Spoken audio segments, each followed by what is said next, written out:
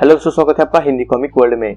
और इस एपिसोड में हम देखेंगे ओल्ड मैन लोगन का वेनम सिम्बियोट के साथ मर्ज होना। तो चलिए शुरू करते हैं आज का वीडियो सबसे पहले हम देखते हैं वेस्टलैंड में, जहाँ पर एक आदमी बुरी तरह से ओल्ड मैन लोगन को मार रहा था। और वो कह रहा था, तुमने मुझे इस सबसे दूर रखा। इस पर लोगन कहता है, नहीं, मैंने ऐसा नहीं किया। लेकिन वो आदमी उसे मारते हुए कहता है, चुप रहो। तुमने पंद्रह साल सिर्फ़ झूठ बोला है। तुमने मेरे बाप को मार दिया। तुमने मुझे सब कुछ छीन लिया, जिससे मैं प्यार करता था। और अब मुझे तुम्हारी कोई भी परवाह नहीं है, लोगन। तुम मरो या जियो, मुझे कुछ भी परवाह नहीं। लेकिन यहाँ पर ओल्ड मैन लोगन उस आदमी से भीख मांग रहा था और कह रहा था कि, बेटा, मुझे छोड़कर मत जाओ। लेकिन वो आदमी वहाँ से चला जाता है। यहाँ पर एक मोटेल में लोगन हमें पड़ा हुआ दिखता है, लेकिन तभी वहाँ पर आर्च एंगल आ जाता है उसे पुकारते हुए। और उसे एक ट्रक में डालकर वो उसे एक जगह ले जाने लगता है, जिस पर लोगन पूछता है कि ट्रक रोको। तुम आखिर मुझे ले कहा पर जा रहे हो? और तब वो देखता है कि वो कोई और नहीं, बल्कि बैरन यानी के आर्च एंगल है, जिस पर आर्च एंगल कहता है, तुम्हें देखे बहुत दिन हो चुके हैं लोगन, है ना? जिस पर लोगन पूछता है, मैंने सोचा था कि तुम मर गए, जिस पर आर्च एंगल जवाब देता है, नहीं, इतनी जल्दी तो बिल्कुल भी नहीं, मैं तुम्हारी ही तलाश कर रहा था। जब वो हादसा हुआ मेंशन में, जिस पर वो बताता है कि उस चीज़ को सत्तर साल बीत चुके हैं, मैंने उसे भुला भी दिया है, मैंने मेंशन भुला दिया है। रेड स्कल और हल्क के बाद मैं सब कुछ भूल चुका हूँ और ज़िंदगी में आगे बढ़ चुका हूँ। आगे इतना सुनते ही आर्चेंगल कहता है, तुम्हारे फैमिली मुझे पता है और मैंने सुना भी कि तुम्हारा हीलिंग फैक्टर जा चुका है और अब तुम लगभग कुछ ही दिनों के मेहमान बचे हो मरने के लिए।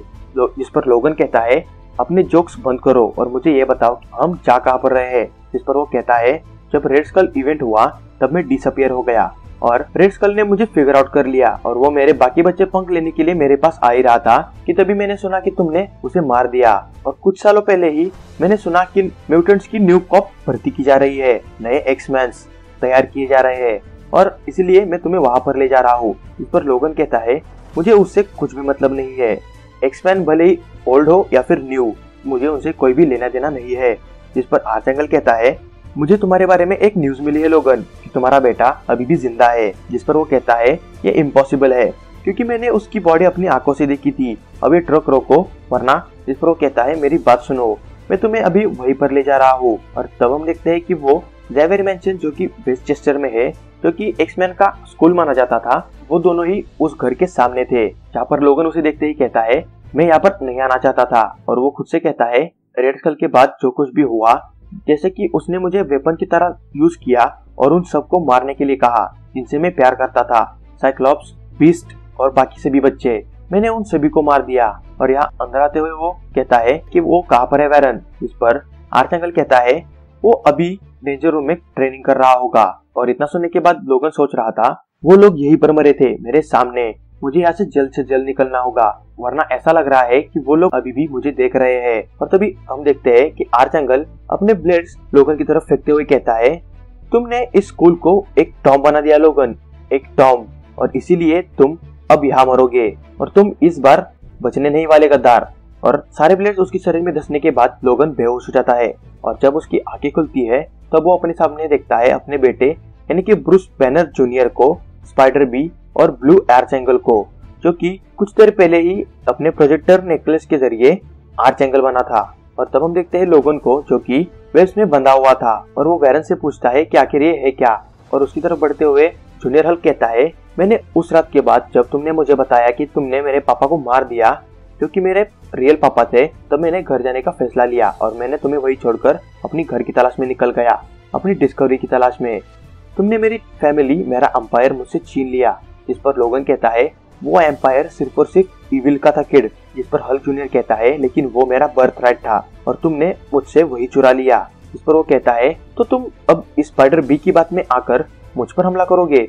तुम मुझे मारोगे? जिस पर स्पाइडर भी कहती है, ब्रूस की जर्नी जो कि उसके पास्ट को ढूँढने की थी, वो उसे मेरे दरवाजे तक ले आई, और हम दोनों ही एक कॉमन इंटरेस्ट शेयर करते हैं तुम्हें मारने के लिए। इसी वजह से हम दोनों एक साथ है, और रही वैरन की बात तो उसके पास अपना खुद का एक रीजन है तुम्हें मारने के लिए। जिस पर वैरन एने के ब्लू आर्ट एंगल कहता है, मैं तुम्हें वही मार सकता था जहाँ पर तुम मुझे मिले थे, लेकिन मैंने तुम्हें यहाँ मारना ज़्यादा सही समझा, क्योंकि तुमने यही बस सत्तर साल पहले उन सभी बच्चों को बेरहमी से मार दिया था। यहाँ पर उसकी तरफ़ बढ़ते हुए स्पाइडर भी कहती है, तुमने काफ़ी सारे एनिमीज बना लिए, लोगन। और वो आगे अपने पिता यानी कि हॉका के बारे में बोलते हुए कहती है, तुम और मेरा बाप एक जैसे ही थे। तुम दोनों ने ही कुछ अच्छे काम नहीं किए अपनी ज़िंदगी में।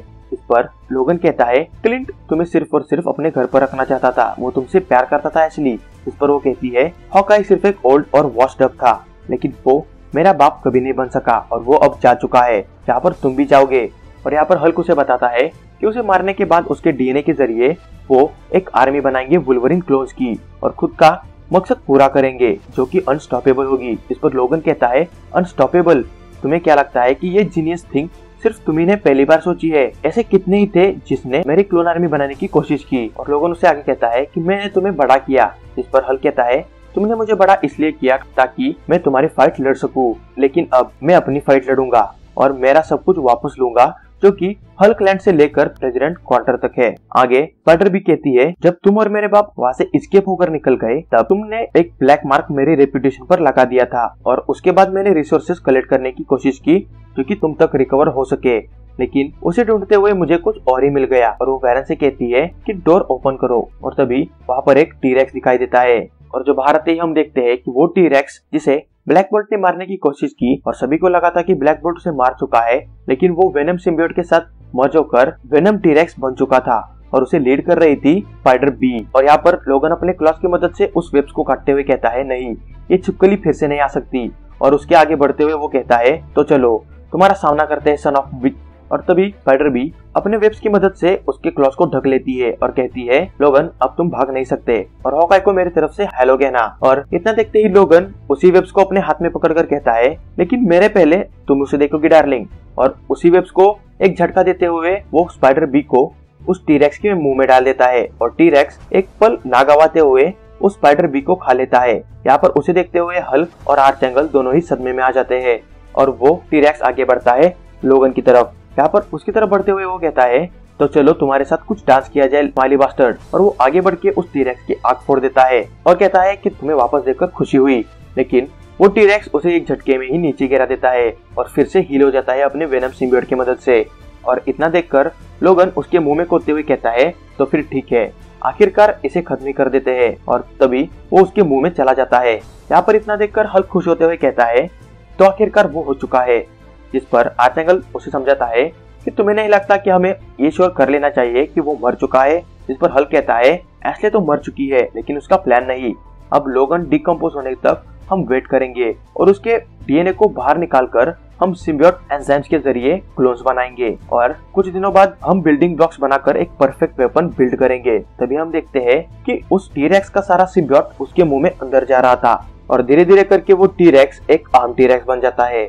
और उसी टीरेक्स को चीरता हुआ बाहर आता है। वेनम सिम्बियोट्स के साथ मर्ज हो चुका ओल्ड मैन लोगन और वो कहता है, ये पावर ये पावर और ऐसी पावर मैंने कभी भी फील नहीं की है, कभी भी नहीं। इस पर वेनम कहता है, अब मैं तुम्हारे साथ हूँ लोगन और अब हम इन सभी को मार देंगे। और उसे देखते ही हल्क से आर्चंगल कहता है कि उसका हीलिंग फैक्टर तो जा चुका है, लेकिन सिम्बियोट ने उसे सेंस कर लिया और वो उसके साथ फ्यूज हो चुका है। यहाँ पर लोगन अपने पूरे रेज में था, जो कि कह रहा था, तुम वीक हो जूनियर तुम अपने बाप जैसे बिल्कुल भी नहीं हो। ब्रूस बैनर जिसे मैं जानता था, वो तुम्हें देखता तो स्वयं के मारे डूब मरता।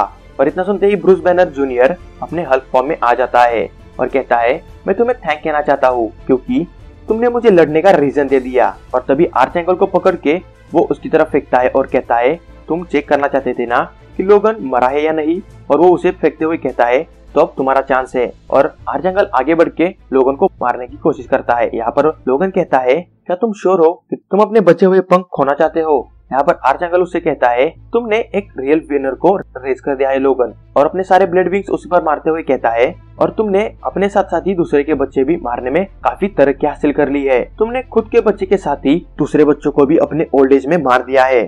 तुमने मेरे फ्रेंड्स को मार दिया लोगन। तुमने उन सभी बच्चों को मार दिया जिस पर लोगन कहता है नहीं, वो मैं नहीं था। इस पर आर्चंगल उससे कहता है, तुम झूठ बोल रहे हो। और उसकी तरफ़ बढ़कर उसे मारने लगता है। और आखिर अपने बचे हुए ब्लेड विंग्स उस पर मारते हुए वो कहता है, तुम हमेशा से एक किलर ही थे और तुम इनोसेंट लाइव लेकर ही यहाँ तक पहुँचे हो।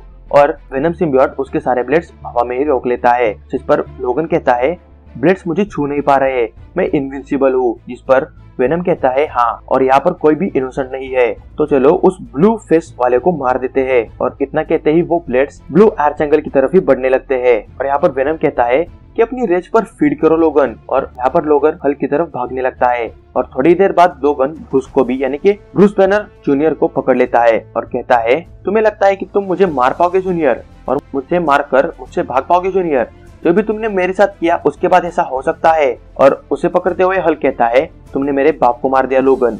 तुमने मुझसे पूरी ज़िंदगी झूठ बोला है।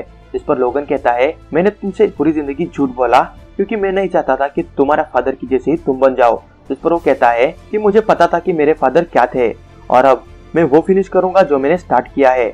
और वो उसे पंच मारने ही वाला था, कि तभी वेनम सिम्बियोट उसका पंच पकड़ते हुए कहता है, इसकी स्ट्रेंथ तो काफ़ी अच्छी है, लेकिन वो हमसे मैच नहीं कर सकता। और यहाँ पर लोगन उसे कहता है, तुम सही कह रहे हो, ब्रूस, की अब एंड करने का वक्त आ चुका है। और उसे मारते हुए वो कहता है, तुम्हारा बाप मेरा बहुत ही अच्छा दोस्त था, और मैं तुम्हें यहाँ पर इसलिए ले आया क्योंकि मैं चीज़ें अच्छी करना चाहता था। और मुझे अभी लगता है कि रिवेंज डेथ एक वर्थ डेथ होगी तुम्हारे लिए जूनियर और वेनम यहाँ पर कह रहा था कि उसे मार दो। लेकिन वो अपने बेटे की तरफ़ देखते हुए कहता है, नहीं, मैं उसे नहीं मार सकता। भले ही उसने मेरे साथ कुछ भी किया हो, लेकिन वो मेरा बेटा है।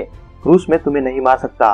और वो आगे कहता है कि मैंने तुम्हें इस सबसे इसलिए अनजान रखा क्योंकि मैं तुमसे प्यार करता था।